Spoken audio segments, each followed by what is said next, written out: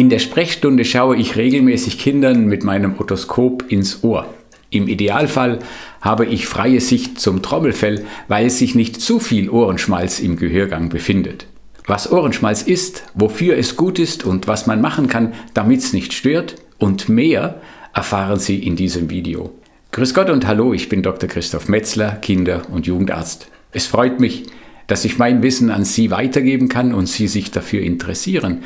Freue mich natürlich über einen Daumen hoch und wenn Sie meine Videos gut finden, auch über ein Kanalabo.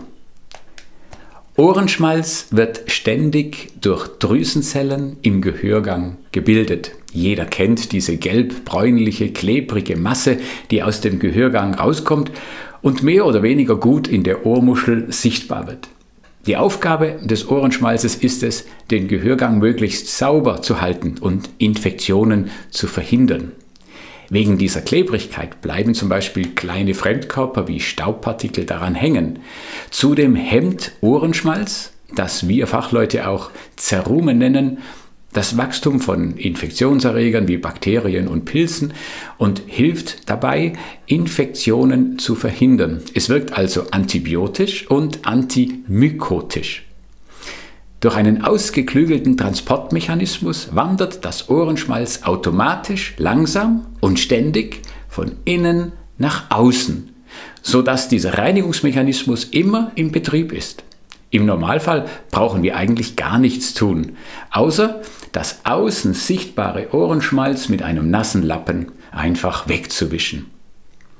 Sicher wissen Sie ja, dass Sie zum Putzen keinesfalls mit Wattestäbchen in das Ohr hineinfahren dürfen, weil Sie dann ja das Ohrenschmalz nur hinein, also zum Trommelfell hinschieben und damit einen künstlichen Pfropf erzeugen würden.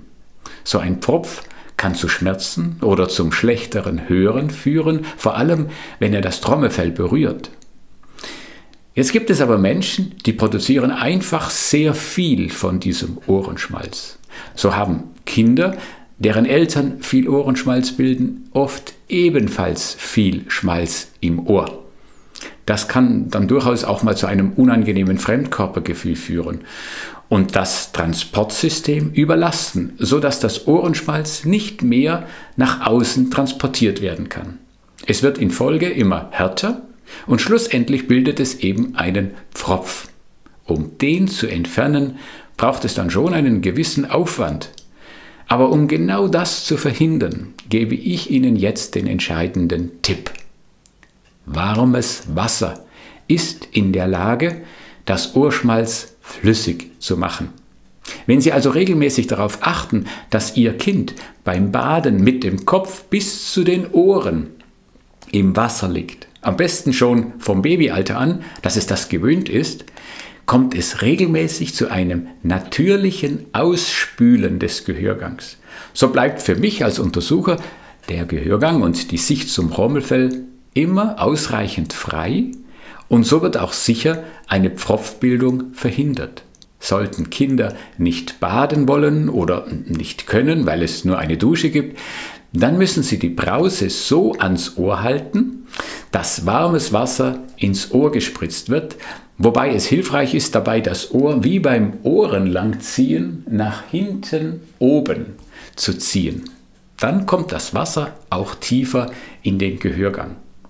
Beim Rauslaufen des Wassers nimmt es dann diese dieses überflüssige Schmalz mit. Diese Methode eignet sich also hervorragend für die Vorbeugung von Pfropfbildung bei übermäßiger Ohrschmalzbildung. Vor allem, wenn sie bei jedem Baden und bei jedem Duschen durchgeführt wird. Was kann man tun, wenn es zu einer Pfropfbildung schon gekommen ist? Der Hals-Nasen-Ohrenarzt kann dann entweder mit speziellen Häkchen unter Sicht das Ohrschmalz herauspfriemeln oder es heraussaugen oder herausspülen. Da gibt es verschiedene Methoden.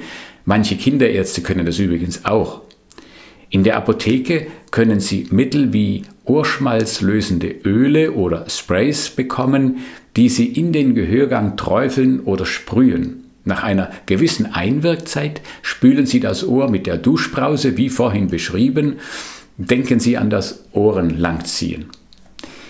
Manchmal muss der Vorgang wiederholt werden, bis das Ohr wieder frei ist. Aber am besten ist, Sie verhindern ein Ohrschmalzproblem durch regelmäßiges Reinlaufen lassen von warmem Wasser beim Baden und Duschen. Übrigens, ich höre öfters von Eltern, dass sie bewusst das Köpfchen beim Baden aus dem Wasser halten, damit ja kein Wasser ins Ohr läuft. Aber natürlich darf auch beim Baby Wasser ins Ohr kommen. Denken Sie daran, es ist ja neun Monate im Fruchtwasser gelegen. Und das hat ihm auch nichts ausgemacht.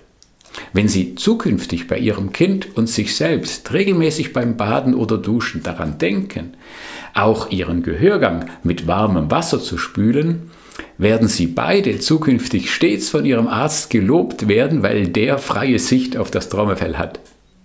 Wenn Sie noch Fragen haben, dann schreiben Sie gerne in den Kommentar.